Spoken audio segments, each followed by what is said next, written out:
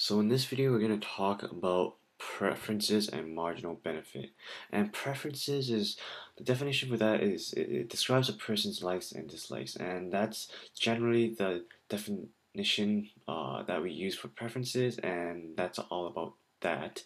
Uh, marginal benefit is what I went through in the first chapter, well, briefly. It's the benefit received from consuming one more unit of a good or service and we measure marginal benefit from a good or service by the most that people are willing to pay for an additional unit of it.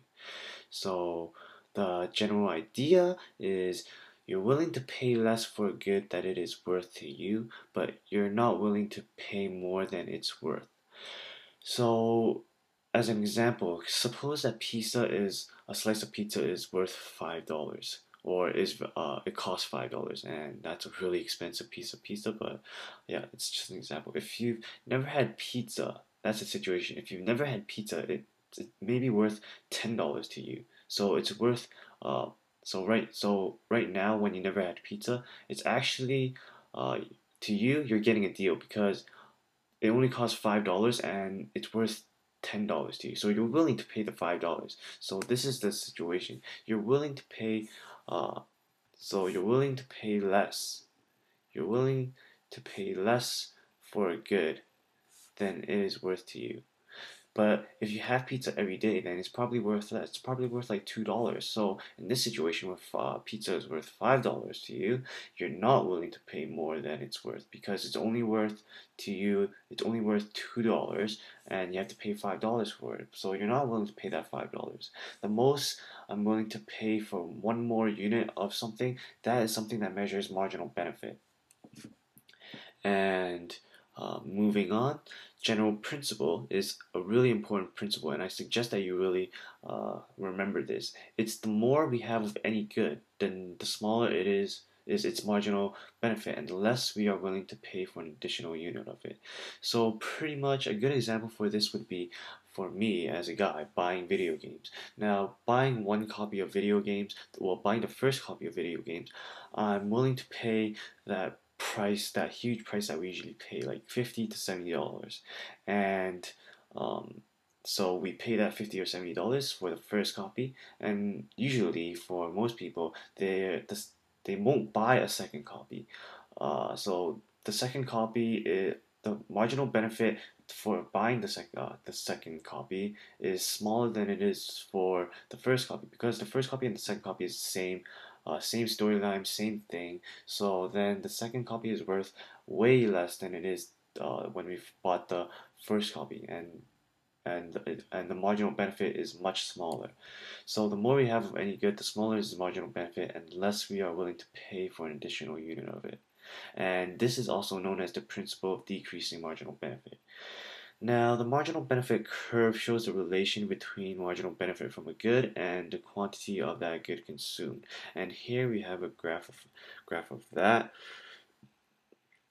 And yeah, this graph uh, shows the marginal benefit curve, and we have the burgers and millions on the horizontal, the willingness to pay, uh, which is the millions of bars on vertical.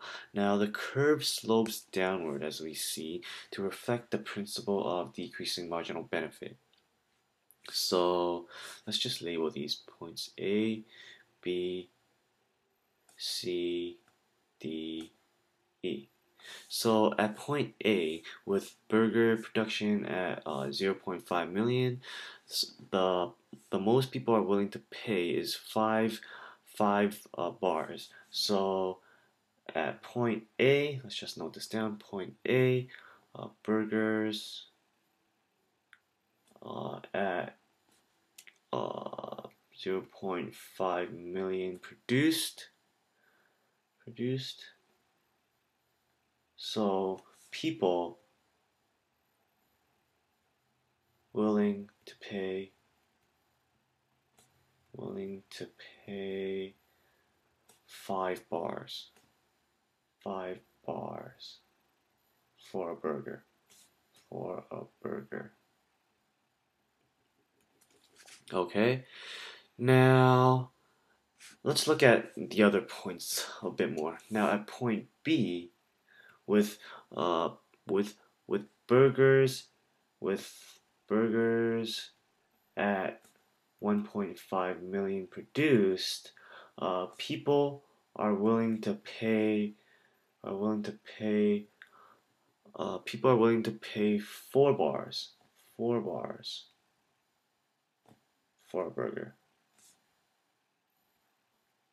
and uh, let's look at point E which I'm not going to write down but at point E with with burger production at uh, 4.5 people are willing to pay uh, one bar uh, one bar of one energy bar for the burger.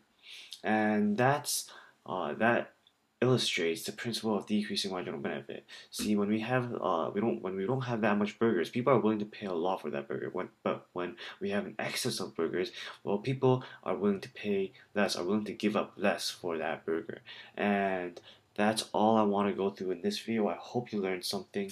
Uh, please rate, comment, and subscribe. And I have a question.